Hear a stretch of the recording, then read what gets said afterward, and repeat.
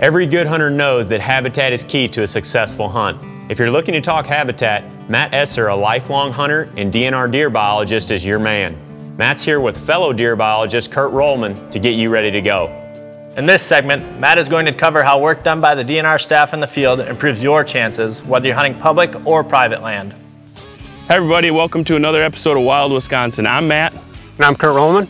And it's a beautiful day. Uh, we're out here in west central Wisconsin. We're gonna talk about what you can do on your property, tangible things that you can learn when you're on a new piece of property or a property that you've hunted for years and you're just trying to figure out what you can do for this upcoming hunting season. So we got a lot to talk about, so let's get into it. What are some tips um, that we can do on a new piece of property or something you should look for in the fall hunting season? Yeah, so generally my step one is, especially if it's a new property to me, yeah, you start with the map, you start with the air photo and you're looking at it, but you gotta get out on the land. So do your kind of background information, have some places you're gonna attack on the air photo, but actually go and land and ground truth those spots. So have topography in mind and look for those kind of pinch points and look for any kind of management that's already been done on the property. If you just recently purchased it or if it's public land, try and work off that a little bit and just get some ideas and start looking for deer sign. Your, your trails, your droppings, your browse, um, a lot of stuff that people look at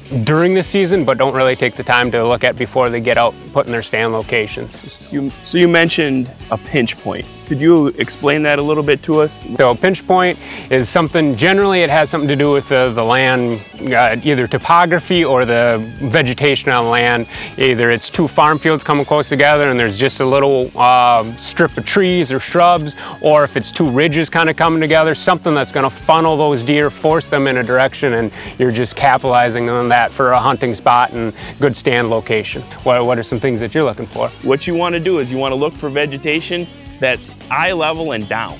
You know, it's going to be palatable uh, during different parts of the year. You look for some raspberries, blackberries, briars. You're going to look for young oak saplings, all different types of tree saplings. And take your compass on your map and start looking at the vegetation and looking at what the deer are nibbling on. It's basically like you went in with a weed whip almost and you went right across and, and cut cut that vegetation up. The more you can find the food, you can hone in on that food, the more successful you're going to be. So if you had one spot, like one thing you're gonna focus on, what are you looking for? I like to overlay topography, so those elevation lines on there. And when I'm doing that, you can actually see the ridge lines and potentially you can see some oak ridges or you can see travel corridors and kind of spots where you think they're gonna kind of move in and out of that thick cover because the thick cover is hard to hunt. Any little bit of topography change is gonna kind of influence uh, wildlife movement, correct? You know, any little ridge they're gonna follow, any little uh, change in the topography of, of the land. When I'm looking at that on the air photo, and I see those areas, I want to make sure that that's what I'm seeing. And you can't just see deer trails from the air photo. So you, want to get out there and look for that sign, those deer droppings and the actual trails. So I call that ground truthing. It's actually confirming what you're thinking on the air photo through uh, going out on land and doing that scouting, which is actually a really fun thing to do, especially on public lands because it's so varied. You, you never know what you're going to see. All right, Curt, so let's sum it up.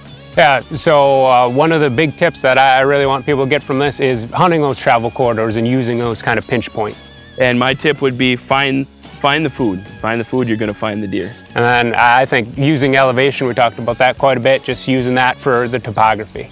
And at the end of the day, scout, get out on the land, have fun, enjoy it, and be safe. We've given you a lot of tips. The ball's in your court. Get out there.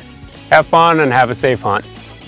To find out more, be sure to listen to the DNR Off the Record podcast for a roundtable discussion regarding deer habitat and a whole lot more.